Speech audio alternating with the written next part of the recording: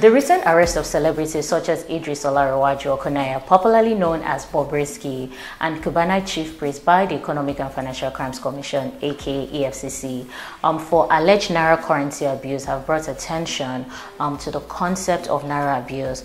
Many are now questioning what actions precisely constitutes naira abuse.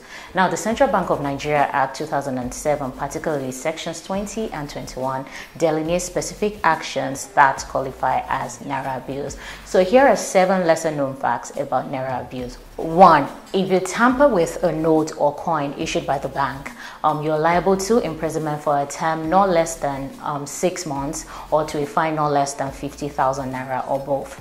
Um, you have tampered with a naira note if you stomp, pierce, use staple pens, or write on it. Also, if you tear soil with stain or even squeeze it deliberately, you will be found guilty of naira abuse.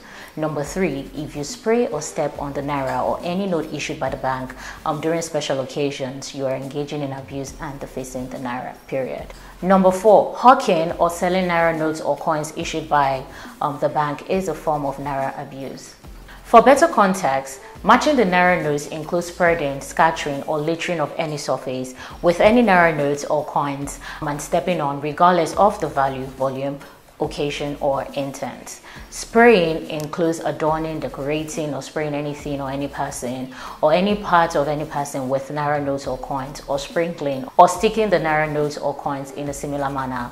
Now, if you refuse to accept the naira as a means of payment, um, you are deemed guilty of an offense and liable on conviction to a fine of 50,000 naira or six months imprisonment. However, the CBN has the right to prescribe the circumstances and conditions under which other currencies may be used as medium of exchange in Nigeria. Last and definitely not the least, money bouquets were officially classified as a form of naira abuse by the Central Bank of Nigeria um, in February 2023. So all you Parara people beware. So that will be all for this video guys. If you enjoyed this video, please do not forget to subscribe, like, share and please guys leave your comments in the comment section. See you in my next video. Peace.